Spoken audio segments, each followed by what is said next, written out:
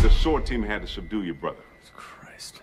I gave him some Haldol to calm him down, but as we learned from previous episodes, just a stopgap measure.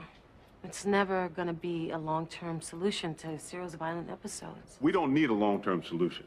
The judge has set his execution for next month. What? Why are you acting so surprised? He was found guilty of the murder of Lee Chen. The punishment is death. Look, you're gonna have to discuss with Cyril the way he wants to die. Either electric chair or lethal injection. Lethal injection. Yeah, I, I, I want Cyril just to doze off and go to sleep. There's more to it than that. The drugs they inject into his body Oh, yeah, first I- paralyze him. Just, I don't want to hear the details, okay? It's not okay, Ryan. Up to this point, you've resisted all our attempts to help your brother. You should know what his last moments will be like. I see him. Not yet. I'll allow a visit once he's settled down. Take O'Reily back to Em City.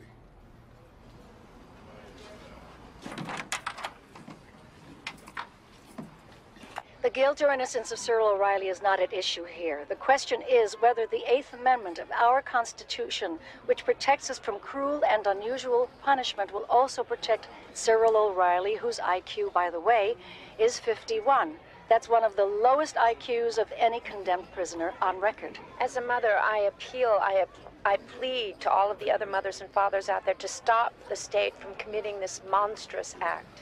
Governor Devlin refused to comment on the demonstration held outside the Capitol building.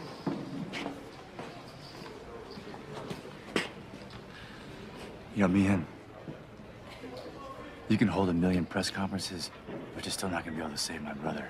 If I had that attitude, you'd be right. But I'm going to prove you wrong, Mr. O'Reily.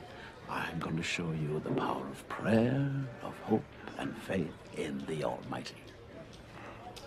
Okay, well, while you're at it, why don't you suck my dick?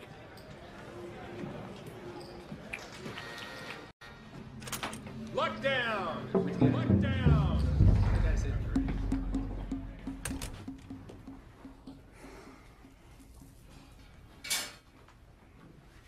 Right?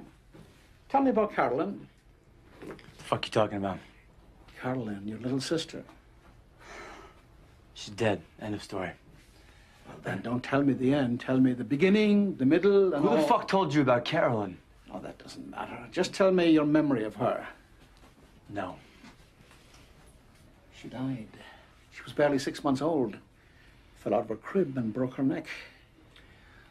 Why are you doing this? Well, I've seen how you love your brother, how you're protective of him, yet you're willing to